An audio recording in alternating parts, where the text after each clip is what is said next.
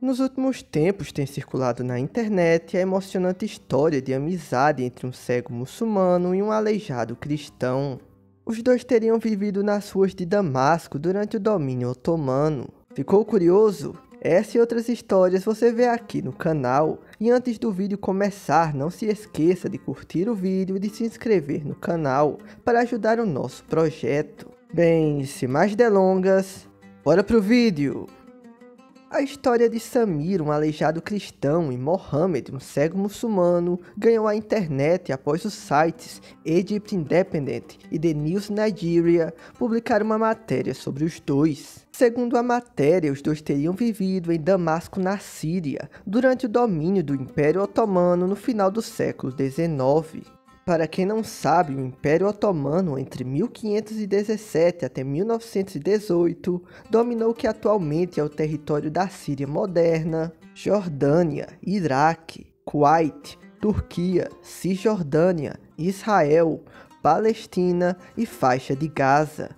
Como Samir era paralítico, ele dependia das pernas de Mohammed, que por sua vez era cego e dependia dos olhos de Samir. Um complementava o outro, ajudando assim os dois órfãos a sobreviver em meio à pobreza em que eles viviam. Já que os dois viviam numa habitação miserável em Damasco, Porém, a amizade do cego muçulmano e do aleijado cristão acabaria quando Samir morreu. Mohammed chorou durante sete dias, já que eles sempre viviam juntos. A tristeza de Mohammed foi tanta pela morte de Samir, que após sete dias Mohammed acabou morrendo de tristeza.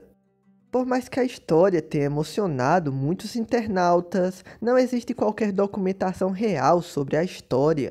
Por mais que a história tenha emocionado muitos internautas, não existe qualquer documentação real sobre a história, mesmo que o contexto do Império Otomano ter dominado tais regiões seja verdade. A única prova real da existência dos dois é uma foto de um cego e um aleijado tirado pelo fotógrafo Tancredi Dumas. Dumas abriu um estúdio de fotografia em Beirute, no Líbano, em 1860, quando ele foi contratado pela Sociedade Americana de Exploração da Palestina para fotografar a região leste do Rio Jordão.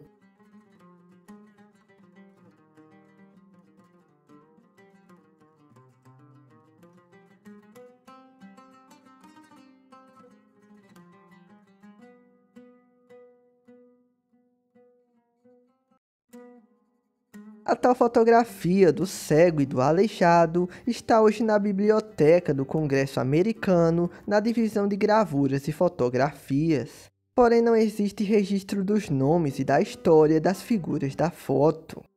Bem pessoal, esse foi o vídeo de hoje. Caso tenham gostado do vídeo, curtam o vídeo e se inscrevam no canal para ajudar o nosso projeto. E antes de sair, recomendo que entrem no nosso canal e assistam os vídeos já publicados.